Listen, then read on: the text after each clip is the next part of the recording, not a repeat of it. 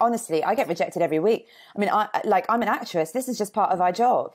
We go for these auditions and we do our very best and we try really, really hard and we really want it for all sorts of reasons because we really connect to this character on a deeper level. And then your agent will ring up and go, "It's a no," and you go, "All right, okay. Well, I sort of bared my soul there and um, sort of maybe maybe shared." My, my innermost feelings and, and really put myself on the line there and showed that I wanted it as well, which gives you a deep ick when it's really obvious that you want something and someone says still no. But oh my gosh, if I if I worried about rejection anymore, I'd never leave the house.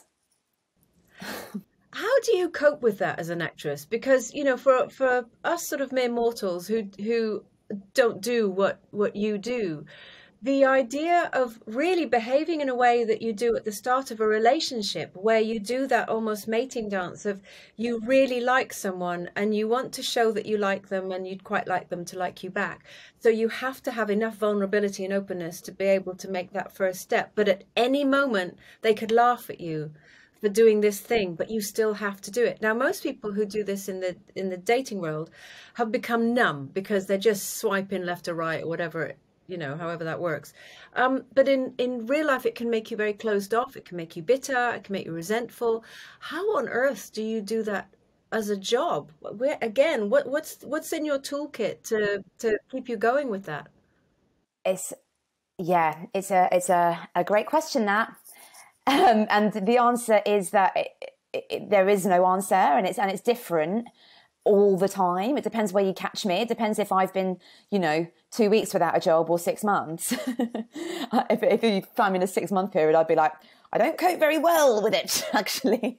but the the fact is, and this is just occurring to me as I speak, speaking to you, is that it's come up in my life an awful lot that when it is that I try and be, and this is in my professional life and in my dating life as well, when it is that I try and be everything that I think that person wants, the rejection hits a lot harder.